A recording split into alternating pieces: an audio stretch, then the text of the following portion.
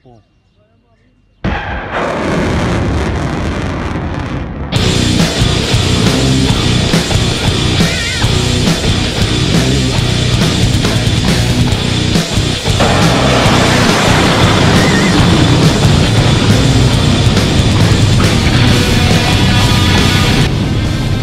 Pertahanan Letnan Jenderal TNI Prabowo Subianto rupanya diam-diam membeli rudal balistik atau rudal jarak jauh buatan Turki bernama Han.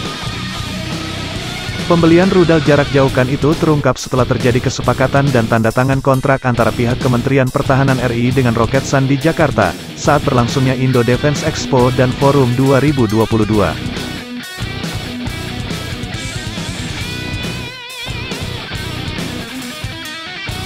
Wakil Manajer Umum Roketsan, Murad Kurtulus mengatakan, penandatanganan kontrak itu menjadikan Indonesia sebagai negara pertama yang bakal memiliki sistem artileri jarak jauhan pertama di dunia.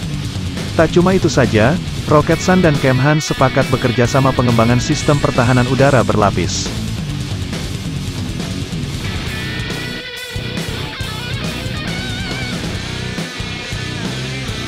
Menurut Murad Kurtulus, produk alutsista yang dikembangkan Roketsan sangat cocok dioperasikan oleh Indonesia, karena Indonesia memiliki garis pantai yang sangat besar yang terdiri dari pulau-pulau. Dikutip dari militaritoday.com, Han atau dalam bahasa Turki ialah Kan, merupakan sistem rudal balistik baru milik Ankara. Pengembangan Han sebetulnya dilakukan diam-diam oleh Turki dan dipamerkan pada 2017 lalu. Han sudah pernah menjalani misi tempur dengan menembak sasaran di wilayah Irak pada 2019 lalu dari Turki. Rupanya, sistem dan teknologi rudal Han ternyata didapat dari sistem rudal M20 China.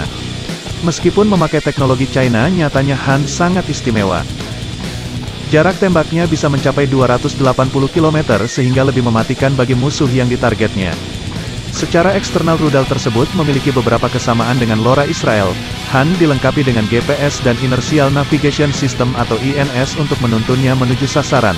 Salah satu yang membuat Han istimewa ialah saat rudal sudah diluncurkan, operator dapat mengubah arah tembakan. Hal ini sebagai tindakan jaga-jaga bila sasaran ternyata bergerak berpindah tempat maka operator bisa memperbarui data sehingga rudal tetap mengenai target.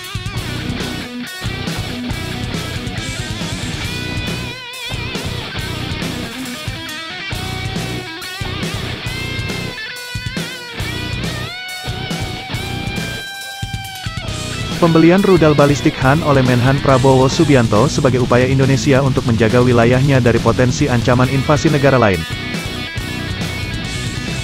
Rencananya, rudal mematikan tersebut akan dioperasikan oleh Batalion Artileri Medan TNI Angkatan Darat.